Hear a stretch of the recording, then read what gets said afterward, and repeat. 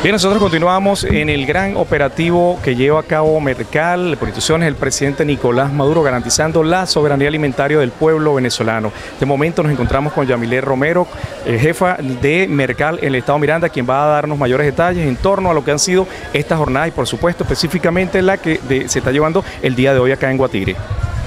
Sí, nos encontramos en Guatire, específicamente en el módulo de la red directa El Ingenio, cumpliendo con el viernes de alimentación. Para el día de hoy tenemos una distribución de 37,9 toneladas de alimentos entre alimentos subsidiados y alimentos no subsidiados.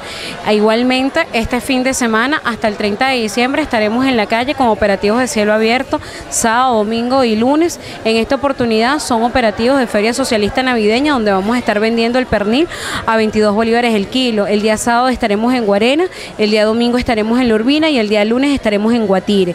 Es importante destacar que los viernes de alimentación los estamos realizando desde hace un mes y la intención es reimpulsar nuestros módulos de la red directa, nuestros establecimientos, pero asimismo que el pueblo mirandino, las mirandinas y los mirandinos tengan acceso directo en sus comunidades, desde cerca de su casa, a los alimentos subsidiados y los alimentos no subsidiados.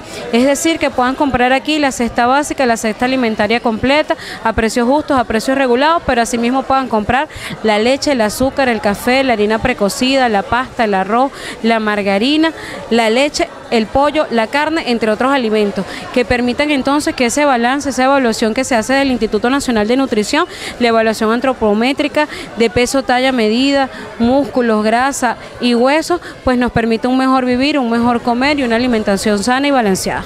¿Aproximadamente cuántas toneladas se están distribuyendo eh, durante el mes de diciembre acá en el estado Miranda? Mira, el acumulado da más de, en 400 operativos aproximadamente que hemos realizado, da más de 2.000 toneladas de alimentos distribuidas en los cinco ejes, que son Altos Mirandinos, Guarena, Guatire, Eje Barlovento, Zona Metropolitana, ¿sí?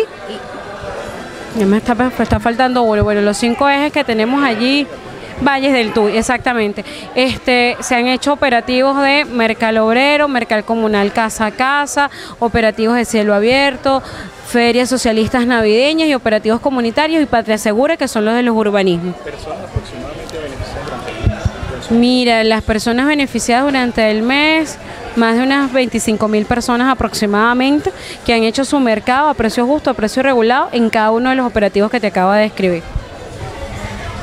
Bueno, parte de las declaraciones de Yamilé Romera, jefa eh, estatal de Mercal, quien destacaba que son 25 mil personas aproximadamente eh, que se han dignificado con las políticas del gobierno del presidente Nicolás Maduro en materia alimentaria. Esta es parte pues de la información y con ella retornamos a los estudios. Adelante.